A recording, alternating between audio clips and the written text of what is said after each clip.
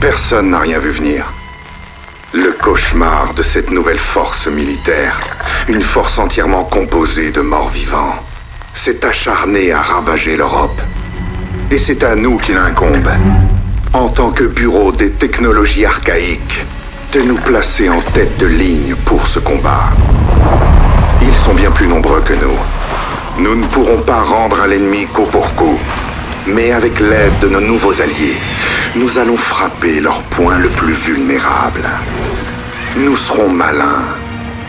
Nous serons rapides. Nous serons mortels. Nous ne pouvons pas nous contenter de tuer nos ennemis. Nous devons tous les exterminer.